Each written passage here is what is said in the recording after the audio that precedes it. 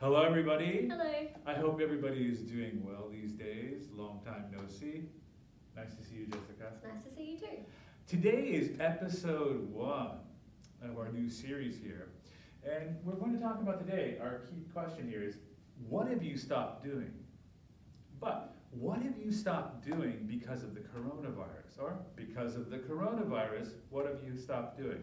So I'm going to ask Jessica, because of corona, what have you stopped doing? Um, well, I'm currently self-isolating. Self-isolating? Yes. What's that? Well, self-isolating is trying to stay at home and avoiding going many places Okay. or seeing many people. Okay, so you just don't want to contact other people. Yeah. So self-isolating means that you just, you're trying not to meet other people. Yes. So what is, what is one thing that you've stopped doing because of corona? Hmm. I've stopped going to visit my friends. Really? Um, yes. Oh, I, one of my friends has asthma. So, yes, so it would be very bad if she got sick. Yeah, sounds like it. That Mhm. sounds like that's true. Anything else? Um, I I have also stopped going to Homac to look at the cats and dogs. You stop going to Homac to, you go to Homac to look at cats and dogs? I think they're very cute, and I just Okay. I, I can't do that anymore. So you stopped doing that? yeah. What What have you stopped doing? Ah, I'm- I've stopped doing many things, Mm. but one thing I've stopped doing is I've stopped going to the gym. Ah. Yeah, I see. like going to the gym. I'm a Mhm. member of 24 Hour Fitness in Kashima.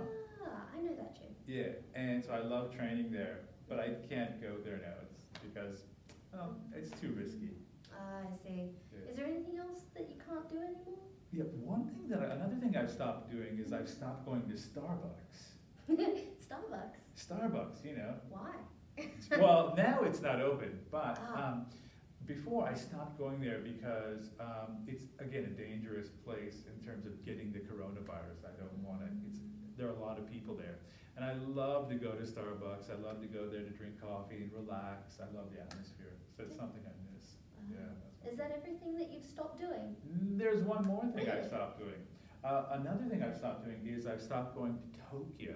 That's pretty far away. yeah, I used to go to Tokyo on the bus on the weekends Mm. and either go to bookshops or go to um, music stores, Mm. um, looking at guitars and what have you. But yeah, it's a little too risky. Yeah, it's a bit I mean, I, dangerous now, yeah, isn't yeah, it? yeah. So those are some of the things I've stopped doing.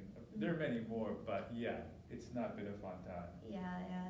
It, it takes a lot to uh, have to stop doing some of the things that you love doing. Yeah. Mm. So everybody, I hope you got it. And one other question, what is something or some things that you've stopped doing? So what I want you to do now is I want you to look at the worksheet. You can watch this video again many, many times, but I want you to take a look at the worksheet and fill it out. Um, until next time, see you guys. See you. Thanks. Oh, let's see if that turned out.